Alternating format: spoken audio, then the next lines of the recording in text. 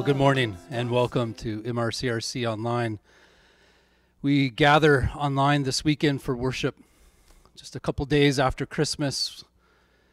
I don't know where you find yourself, but what I want to lead us in this morning is a bit of a different uh, type of service, a more reflective time uh, together for us to really uh, take the opportunity and reflect back on 2020 and all that's transpired.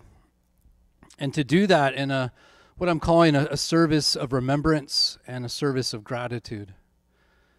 We want to remember, and in remembering, no doubt, lament, but we also want to find gratitude and move towards gratitude and, and even expectation of what uh, this new year might bring for us. And so I'm just going to open us with a prayer, and then we're going to lead into a time of worship and we'll come back together after that time of worship to uh, just take a journey together of remembering, of practicing gratitude, and reflect on some scriptures uh, together. But let me begin with the word of prayer. God, we thank you for this opportunity to gather in this way. We thank you for the moments that we've had in the last few days to gather, uh, to remember your birth, Lord Jesus, to remember your coming into this world and the hope that's been born into our hearts and lives and into this world. And God, as we take opportunity now this weekend to remember, reflect back on this year and and to practice gratitude together, to look ahead. Holy Spirit, would you lead us? Would you guide us? We pray in Christ's name. Amen. Uh, let's worship together.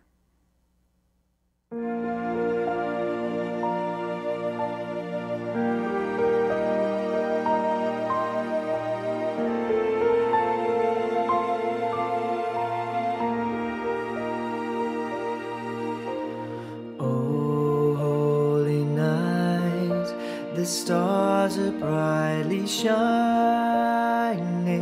It is the night of our dear Savior's birth.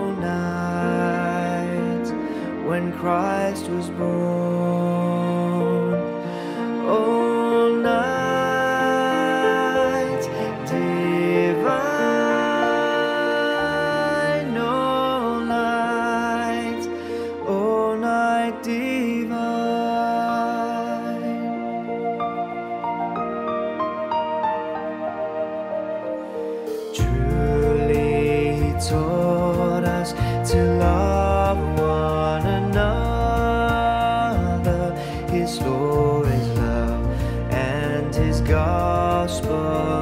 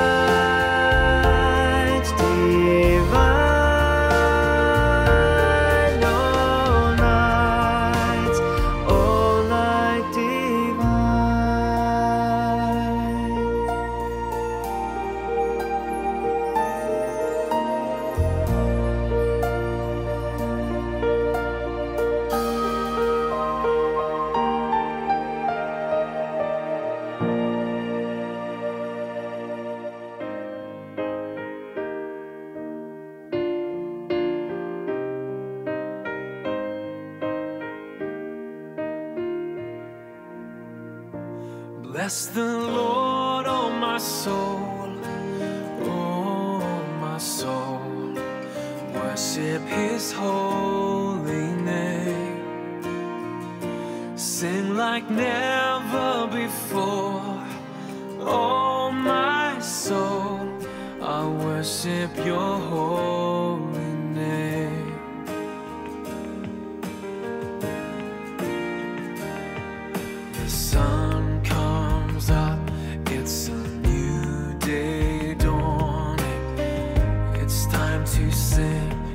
song.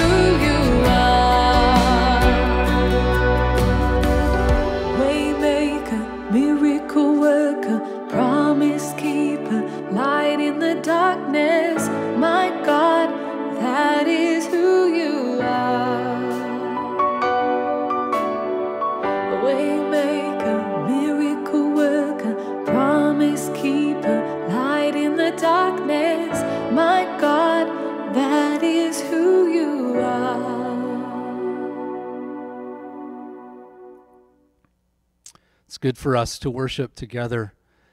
Uh, the songs that we sang hopefully begin to set the stage and prepare our hearts for this time.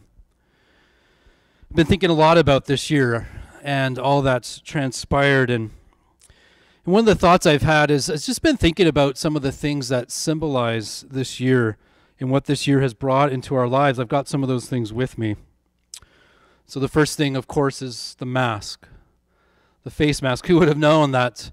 I'd have so many of these, and any of us would be wearing them. And it's really become a bit of a symbol for this year, hasn't it? Living through this pandemic.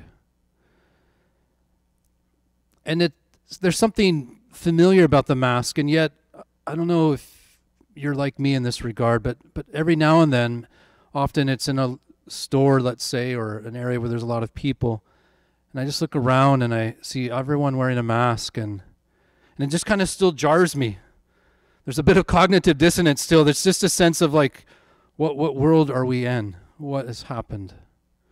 The face mask has been a, a really striking symbol of this year. You'll notice I have a few candles here as well. I want to light them. The first candle I want to light is is for all of those that we have loved and that we've lost this past year we pause uh, to remember their names and many that were known to many of us who are watching this. We think of Aki, we think of Henny, of Diane, of Hans, of Stan. And perhaps there's other names that you would like to remember, and faces, and their voices. And we give thanks for their memories as well. And we're just going to take a moment to remember them.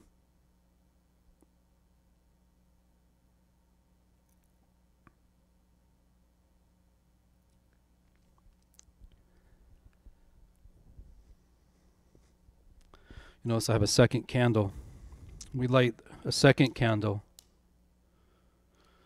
mindful of the many sources of loss and grief that we've all experienced this year the loss of energy. We can miss the times that we didn't feel exhausted. Exhaustion and weariness is becoming so common and prevalent. The loss of a life without spontaneity. Remember those days that you could just on a whim invite a friend over or go out and grab a coffee or a pint together?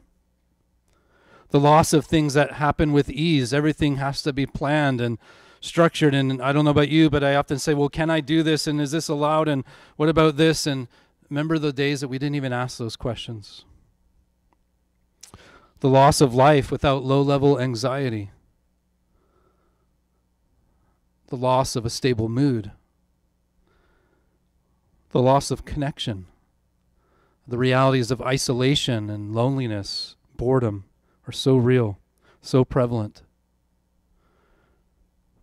think back on this year, and again, we'll take a moment to pause. What do you miss from your life as well?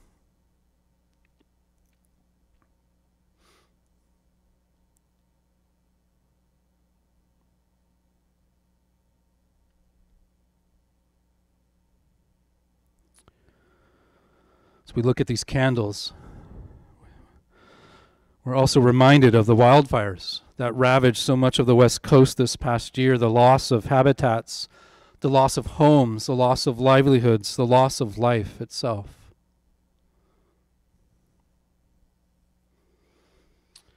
I brought a book that uh, really gripped me this past year The Color of Compromise, a story about the American church's complicity in racism we've been painfully reminded this past year of the persistent and the systemic racism and racial injustice. We deeply lament that it persists and continues in our country as well, in our hearts, in our lives. We've also opened up a conversation about our mental health journeys. And so I, I brought this paper that was kind of the cover paper on the sanctuary course, and a number of us uh, took that course back in the spring after COVID 19 uh, had struck us. And it really became an, a, a doorway that we've opened up to walk into and have more honest and more robust conversation about our mental health journeys. All of us have had impacts on our mental health by all that's transpired this year. And we know that the mental health challenges and the journey that we're all on is, is nowhere near over. As we remember, we lament. We lament. What, do, what, is, what do I mean by lament? Well, lament is, is a biblical practice. It's a practice of expressing our grief as a way, really, of, of trying to navigate the kinds of challenges that we've all had to navigate as we reflect back and remember 2020. Throughout the Psalms, we see God's people lament calling out to God, reminding God, in fact, of his character and reminding God of his promises. Lament is occurs, you see, in the context of relationship and relationship with God. We lament expecting God to be present, believing that God is dependable, that He's trustworthy, that there's a God who is there to cry out to and protest against. And so we sit with our remembrances and we bring them, we voice them before God this morning. And what I want to do now is I want to read Psalm 42. For those in the sanctuary course, it's become a very familiar psalm to us. But it's a, it's a psalm of lament, it's an invitation. As I read the psalm, I want to invite you to bring your laments for 2020 before God. As the deer pants for streams of water, so my soul pants for you, O God. My soul thirsts for God, for the living God. When can I go and meet with God? My tears have been my food day and night, while men say to me all day long, Where is your God? These things I remember as I pour out my soul, how I used to go with the multitude leading the procession to the house of God, with shouts of joy and thanksgiving among the festive throng. Why are you so downcast, O my soul? Why so disturbed within me? Put your hope in God, for I will yet praise him, my Savior and my God. My soul is downcast within me. Therefore I will remember you from the land of the Jordan, the heights of Hermon, from Mount Mizar. Deep calls to deep in the roar of your waterfalls. All of your waves and breakers have swept over me. By day the Lord directs his love. At night his song is with me, a prayer to the God of my life. I say to God, my rock, Why have you forgotten me? Why must I go about mourning, oppressed? by the enemy. My bones suffer mortal agony as my foes taunt me, saying to me all day long, Where is your God? Why are you downcast, O my soul? Why so disturbed within me? Put your hope in God, for I will yet praise him, my Savior and my God. Let me lead us in a short prayer. God, we, we bring our remembrances, our laments, our grief. We bring it before you. We yet put our hope in you. We yet put our trust in you. Yet we still look to you, God. And we lay all that 2020 has brought, we lay it all down at your feet. The weight of it is far too heavy for us to carry far too much for us to bear. And so, would you carry us and carry our burdens, carry our broken hearts, carry our losses, our grief, carry our laments, and carry us, God. Lighten the load. Lift up our hearts and our spirits. Renew our trust as we look to you. our Savior, and our God. Amen. Amen. We want to move now into a time of gratitude. You know, it's as I've thought about this past year, I've also not only been mindful of the, some of the symbols I've shared and, and what they represent and the lament and the loss, but I've also been mindful of the many gifts and so thankful for the gifts that this year has brought. And so I want to invite us now to give voice to our gratitude as well. Let me ask you, where have you seen God at work this year? Uh, what has God been stirring in you? What has God been doing around you? What has God been doing through you? Where have you seen God at work this past year and might give voice and express your gratitude? So often, the times of great challenge become times of tremendous growth. Seeing God do things in us. Where have you witnessed this in your own life? Recently, it was in the context of our New Testament course we were reflecting together as a group on that question, and I was deeply moved by what we shared together that night. We shared a growth, there was testimony of a growth in compassion for other people. We all sense that we, we now notice other people, and, and partly it's because of this pandemic, and it's partly because we're trying to keep a distance from others. But, but what's happened through that is this profound compassion that we're just more aware of people that inhabit the space that we inhabit, our neighbors, the people we would see and we encounter people in, in the community, in the stores or restaurants that we attend. There's been a profound growth in compassion. We gave God thanks for that. We testified about a growth in patience. You know, we've all had to wait for so many things this year things that got postponed, things that got canceled, things that got suspended. Some of us are still waiting for things to get rescheduled that were canceled. And yet, through that, God's grown us in patience, a growth in letting go of control. We realize that we're not in control, and we don't have to be in control. God's in control, and that is enough for us.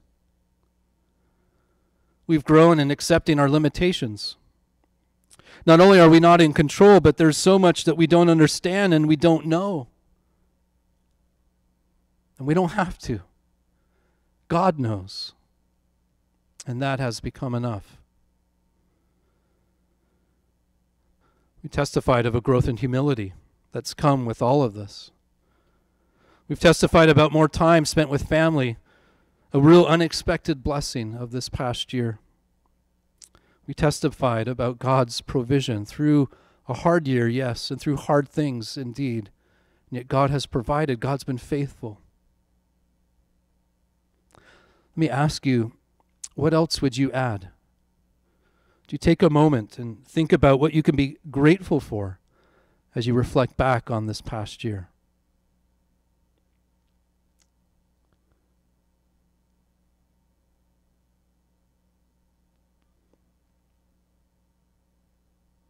I hope God has stirred something for you that comes to mind. As we come, as we continue this morning, I, I want to lead us briefly now in a time of scriptural reflection about this practice that kind of grounds this practice of remembrance, lament, and gratitude. And, and I'm going to do that by reading from the Apostle Paul in Second Corinthians. As I thought about this year, as I thought about this service, this passage just came uh, to the surface. I think it's a fitting passage as we look back. 2 Corinthians chapter 4, I'm going to read verse 7 through 12 and then 16 to 18. But we have this treasure in jars of clay to show that this all surpassing power is from God and not for, from us. We are hard pressed on every side, but not crushed, perplexed, but not in despair persecuted, but not abandoned, struck down, but not destroyed. We always carry around in our body the death of Jesus, so that the life of Jesus may also be revealed in our body.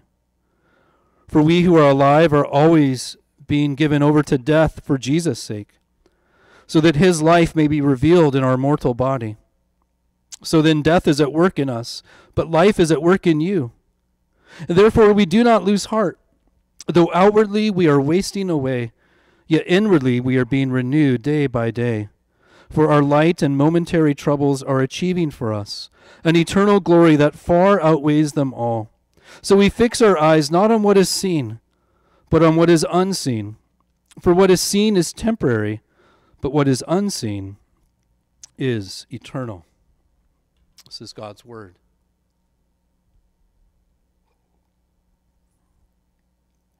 Notice with me a few things about the passage that we've just read. Imagine the kinds of questions that difficult circumstances raise. Uh, Paul, in this letter, is being honest and being vulnerable about the sufferings and the difficulties that he faced in his life.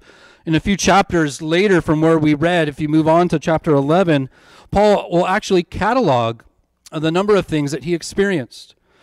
The fact that he was in prison, that he was flogged severely, that he was beaten with rods three times, he was stoned, he was shipwrecked three times, he was in danger from rivers, from bandits, from his own countrymen.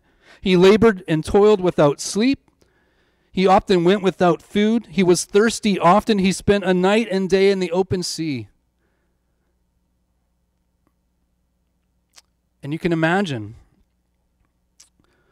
the kinds of questions that were coming at Paul. It would seem that, that Paul had an inordinate number of things go wrong in his life.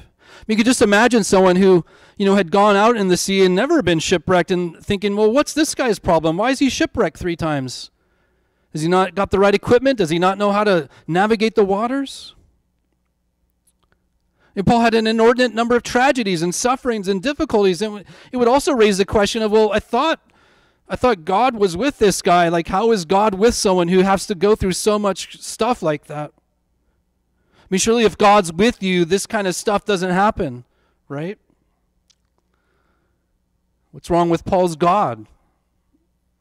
If it's not Paul's fault, maybe maybe Paul's got the wrong God.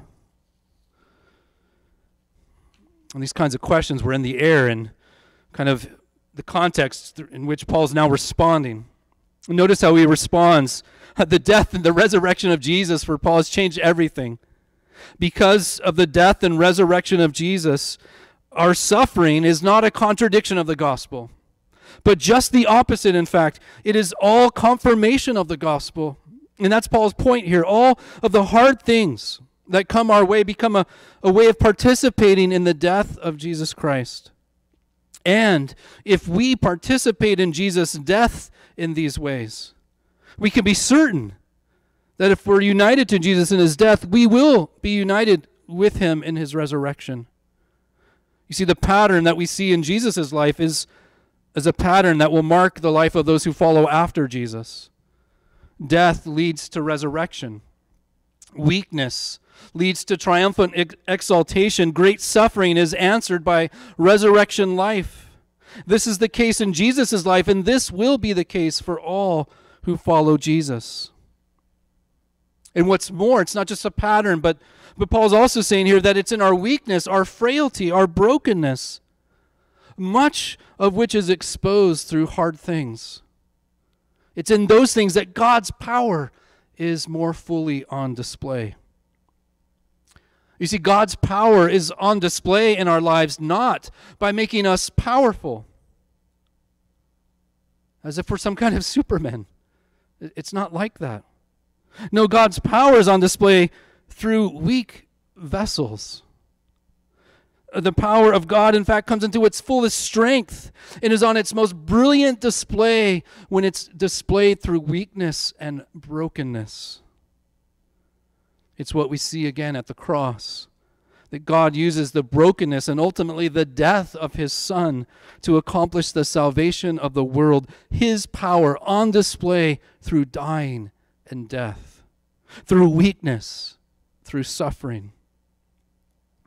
And Paul gives a list of contrasts that, that sort of illustrate this dynamic. Notice with me, we're hard pressed on every side I mean, what an apt way to describe this year. It was coming at us from every side with relentless. Pandemic, wildfires, racism, political divisions, protest, conspiracy theories, distrust of those in authority. On every side, we've been hard pressed. And yet, because God's power is in us, we're not, we're not crushed. The second contrast, we're perplexed, which is a strong word. It, we're at our wits' end. We don't get it. God, God, I don't get it. I'm perplexed. I don't know what you're up to. But because of God's power, we're not driven to despair. We're persecuted. But because of God's power, we're not forsaken. God does not abandon us. Even at the point of death, He is with us.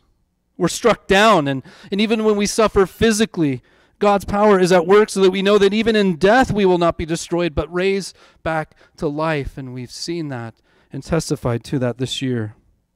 You see, the treasure of Christ, his power, his death, his resurrection is carried around in clay jars weak, fragile, easily chipped, easily broken vessels.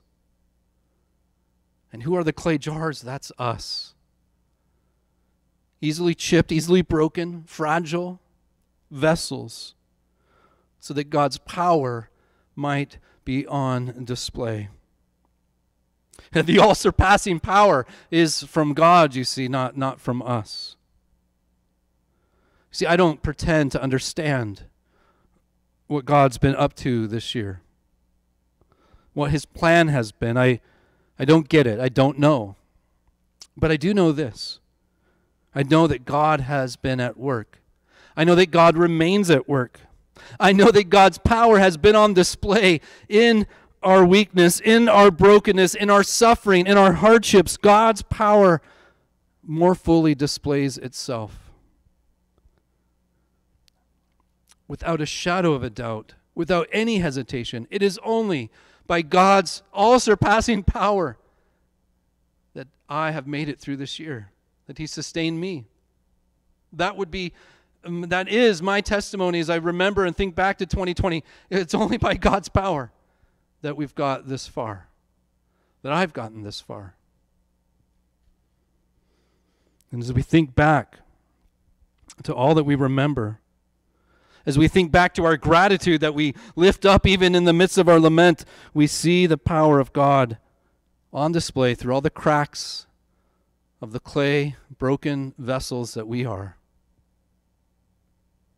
And when we think back to those, those, those moments of gratitude and that, those things that we testify that we've seen God do in us more patience, more compassion, less need to control, more okay with limitations,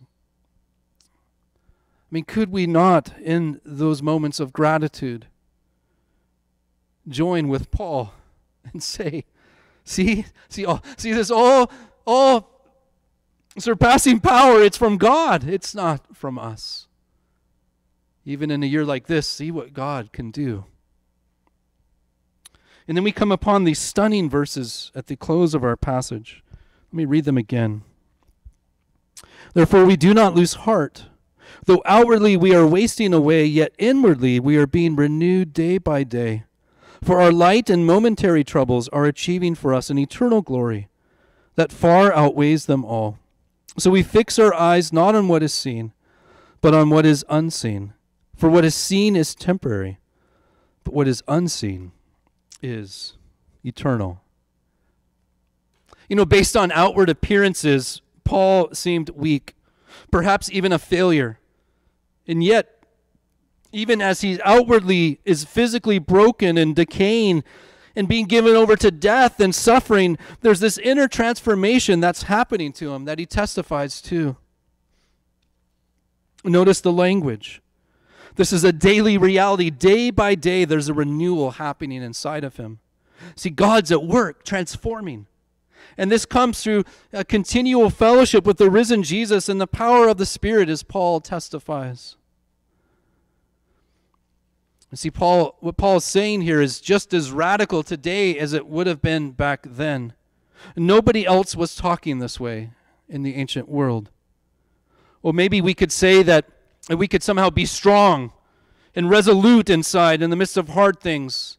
We'll get through this. Or maybe we could even learn to become a bit more detached from hard things, and so they don't bother us, they don't faze us. You kind of just suck it up and don't let it bother you mentality.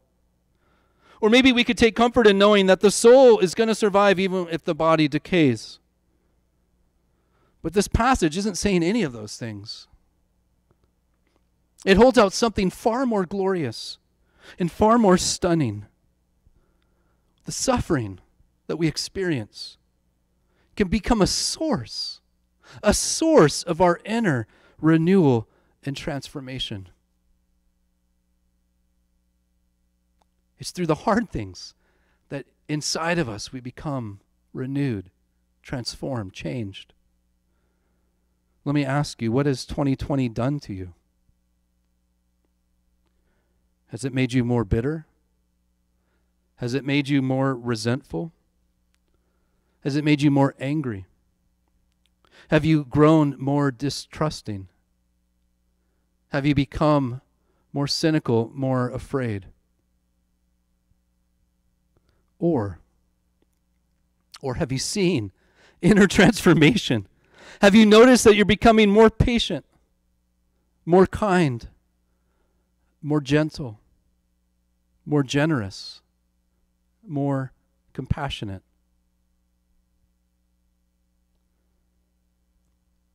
And if you're honest, you know, maybe you're a bit of both. But do you see do you see those bits of transformation? Do you see those sparks of God's power at work in you, shining through the cracks and the brokenness? And then we come on the stunning promises from God in the next verse. For our light and momentary troubles are achieving for us an eternal glory that far outweighs them all. The eternal glory that is to come when Christ returns far outweighs, Paul says. It far outweighs our present sufferings. It makes them look, as one person put it, like a tiny storm in a teacup. And not only that, but our present sufferings achieve, or we could even say produce, the glory that awaits. The future glory in which all that's been lost will be restored and returned to us, even the life that we've always wanted but never fully attained, will finally be ours in the end. We uh, sang a song at Christmas time. One of the lines goes like this All the hopes and fears of all the years is found in the Christ child of Christmas.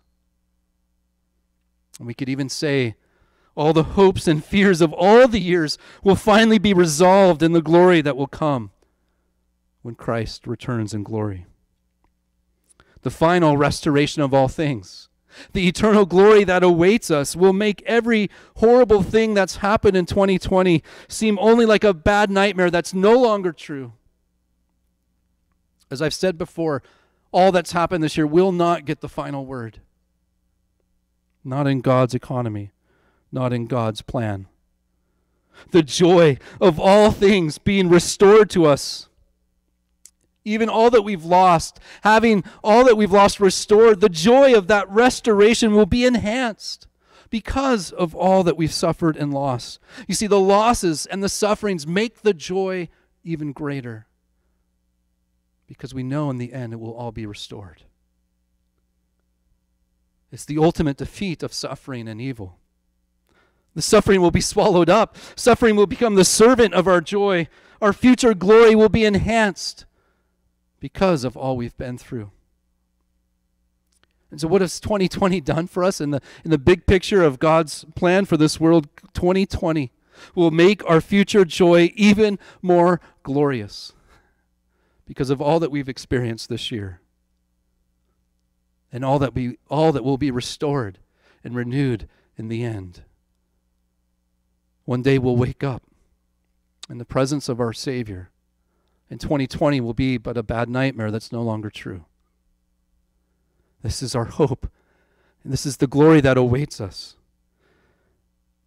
And so the admonition comes to us. And here we close with verse 18 one more time. So we fix our eyes not on what is seen, but on what is unseen. For what is seen is temporary but what is unseen is eternal. And so as you think about 2021, there's plenty of things we can see that give reason for hope. A vaccine, perhaps vaccination process, some hope of life returning to normal, uh, some abilities to travel again, to remember the times of spontaneity, an expectation and hope of being together again that that Christmas 2021 I'm not sitting here looking at empty pews. And all good things to look forward to people that we can embrace again and be present with physically. But let our ultimate hope not be on the, phys- the visible things that we can see, but that which is eternal, the future glory that awaits heaven and earth becoming one. Christ returning on the clouds of heaven in all his glory, in all life being restored and renewed, and our loved ones being raised to life, and resurrection bodies being all of ours to enjoy an eternity with God forever on a renewed earth. And all that's been lost restored. And all that never was will be ours. In 2020, we'll have only made that future joy and glory even more joyful and more glorious. This is the hope that awaits us as we look ahead to a new year. Let me pray. God, we thank you for this time together to remember this past year, to lament and practice gratitude, to also reflect on your word, God, and to ground our remembrance and gratitude in, in these amazing promises. Christ in us, this power on display, even in our brokenness and weakness, and yet this future glory that awaits us, in which all the suffering and hard things of this year will be transformed. And not only transform us, but will make in our glory and the joy of that future even more glorious and more joyful. So fill our hearts with renewed hope and strength and confidence, God, as we look ahead to a new year. We pray in Christ's name. Amen. There's a final song that I encourage us to linger with in Christ alone. I can't think of a better song uh, to end this service and to, to stand on as we look ahead to a new year. But the Lord bless you and keep you. The Lord make his face shine upon you, be gracious to you. The Lord turn his face toward you and give you his peace. Amen.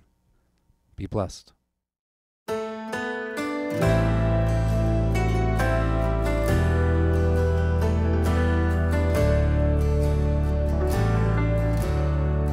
In Christ